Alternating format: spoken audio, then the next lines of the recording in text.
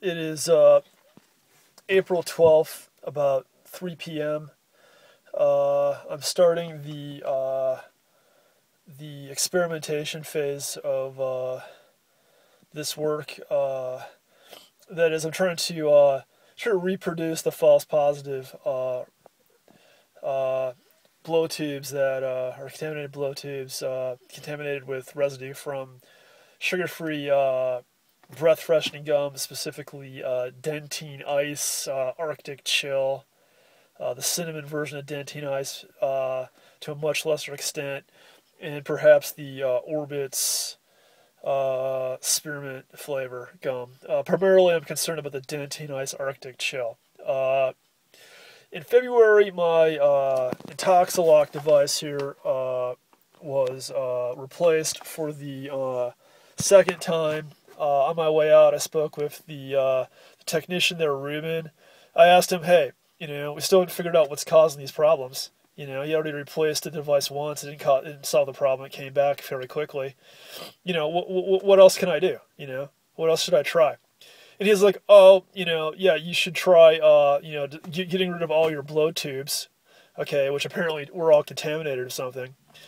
And he gave me two clean blow tubes. Uh, one's here, and uh, one is uh, here in my glove box. Okay, the one in my glove box, this tube, uh, actually was generating some some false positive signal, and uh, a few weeks ago, and uh, so I, I, took it out and I got a brand new one out, which is still uh, I'm still using it the device, and I took this one out and I tried cleaning it uh, with uh, regular soap and water. Um, uh, and then soaking it in water. Uh, yeah, I, I, would suspect that anything that's on there is going to be at least water soluble. I haven't used any uh, any uh, more aggressive, let's say, solvent such as uh, uh, isopropyl alcohol, which is common rubbing alcohol, or anything else. Um, I'm just going to start with this. so the first thing I'm going to do here is hopefully get a clean signal or see where I'm at with the uh, the blow tube I've been using here, which has been giving me some low false positives. Nothing uh, I'm particularly concerned about. Uh, so, uh, and I'm getting you know flat zeros uh, lately. So I'm going to runch my mouth out three times here, and then I'm going to uh, generate a baseline result with the the blow tube I currently have installed uh, see where I'm at.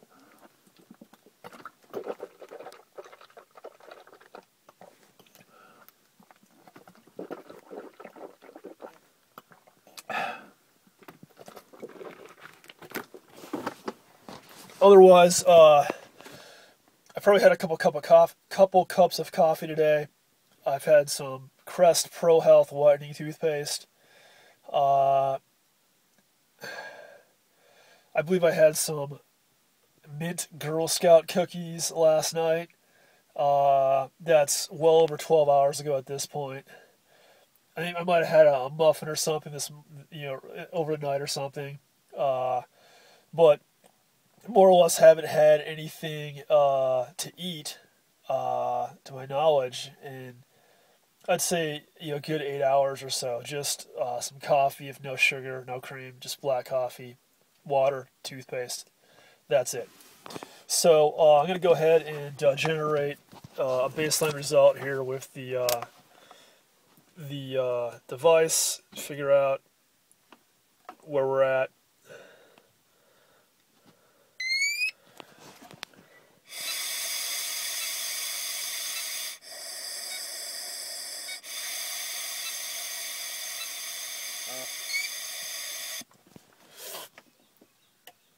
Okay, so I just generated a, uh, a, a .000 flat score on the uh, the device.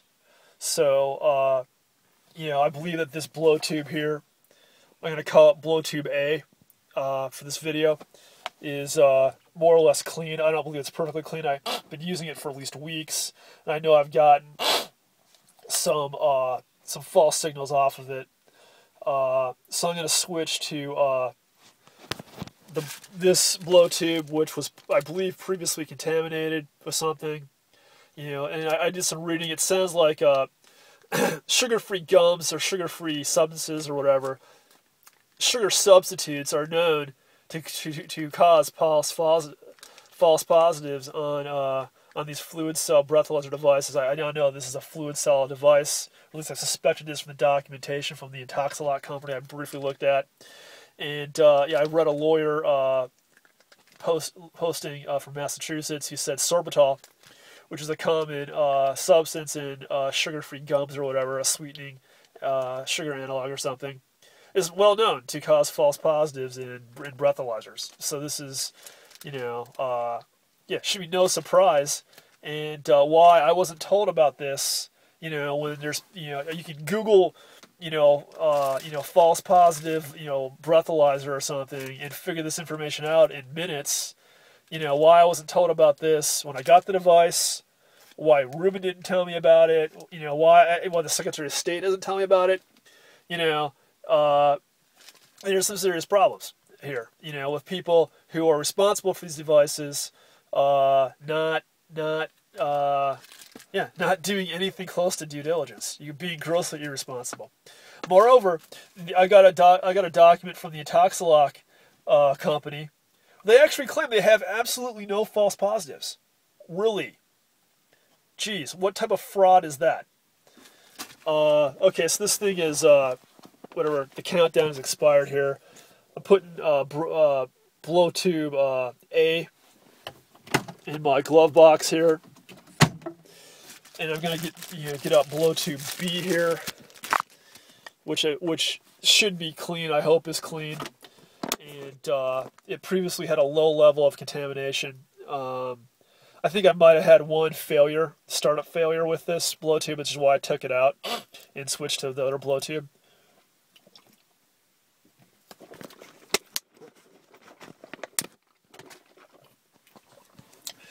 Okay, so here we go with the hopefully clean blow tube B. Okay, the unit's resetting for some reason. I gotta wait 24 seconds here.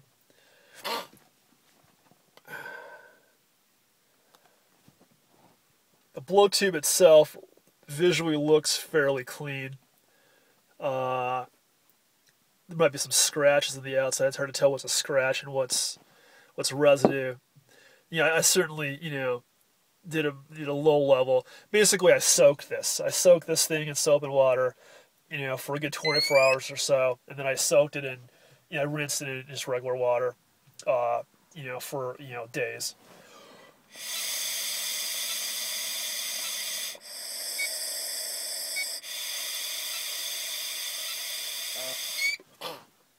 Okay, so let's see.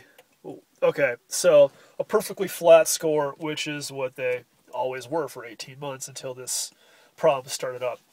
So, um, uh, the idea here is uh, I'm going to go out and get uh, some Arctic ice, some Dentyne ice, Arctic chill gum, some uh, Orbitz spearmint gum. Uh, I got rid of all the stuff I had uh, I just you know, wanted it uh, uh, uh, you know away from me, so I, wouldn't tempted to use it or something. I, I, I use Altoids uh, mints, which are, are not sugar free. They have sugar in them, you know. And again, the the irony here is is that uh, the brief, you know, I, I glanced briefly at the piece of paper they gave me almost two years ago. Uh, I haven't really looked at it since, and you know, uh, the, the thing to avoid was sugar products or sugar, you know, things that have sugar in them because those generate false positives. Here it's exactly the opposite. Here, the sugar products, which include ice cream and Altoids mints, uh, yeah, there's no problem, and I didn't have a problem with them for 18 months or whatever, and uh, still don't. But the sugar-free ones do have a problem. You know, so it's exactly backwards. You know, you know, instead of avoiding sugar products, you should avoid the quote sugar-free products. You know, uh, and again, you know, even after raising this issue explicitly with American Interlock and the Secretary of State, uh, yeah, nothing. And uh, you can figure this out that there's a problem with sorbitol at least in sugar-free products. You know, literally like within seconds just by using Google You know, you just Google, you know, whatever false positive, you know, breathalyzer or something, and yeah, it immediately comes up.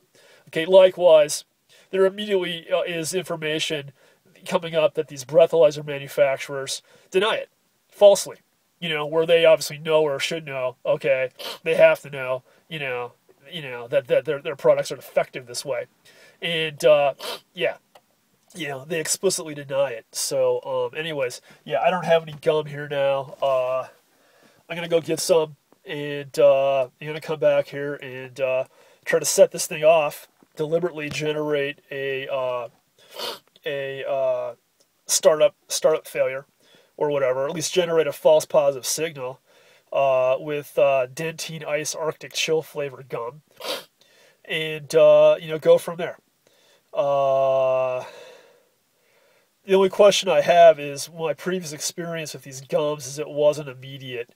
You know, I it, this is why I couldn't figure out what it was. I, you know, I'm positive that the blow tubes were contaminated now with something from these gums, but it wasn't very simple, and it may take hours or days or something. For all I know, there may be some reaction that takes place in the blow tube that takes time to uh, to generate these false positives.